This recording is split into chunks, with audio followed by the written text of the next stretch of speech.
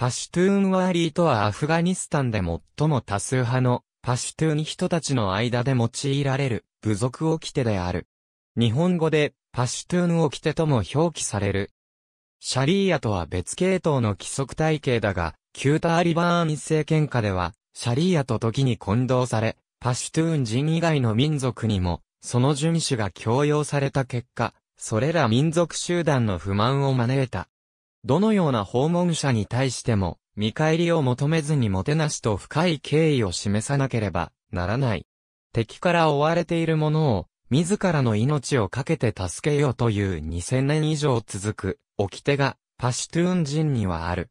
たとえ敵から追われている者がどんな人物でも、多大な犠牲を払ってでも保護し、状況が良くなるまで避難所に止めるという。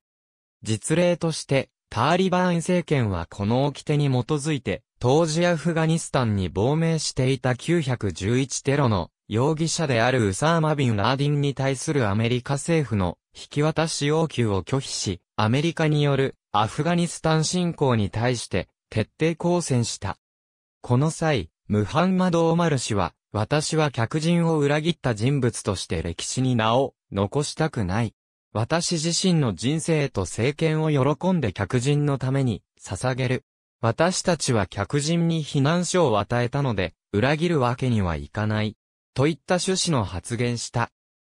また、ネイビーシールズ史上最大の悲劇と言われる、レッドウィング作戦において、ただ一人奇跡の生還を果たした元隊員、マーカス・ラトレル一等兵曹は、異教徒という立場ながら、現地のパシュトゥーン人によってかくまわれた後、6日後に、米軍に救出された。正義の追求と悪人に対する復讐が求められている。自らの家屋、土地、財産を侵略から守らなければならない。家族、友人、同じ部族民に真偽を尽くさなければならない。宗教指導者、名士、朝廷人らが参加する朝廷会。部族間の紛争の仲裁や中央政府の意向と地元民の要望の折衷など、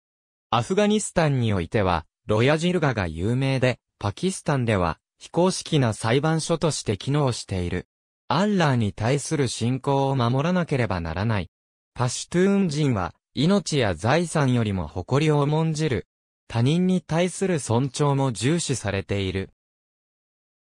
いかなる犠牲を払ってでも、妻や娘の低層を守ることは、女性自身、さらには、家族の名誉を守ることにつながる。ありがとうございます。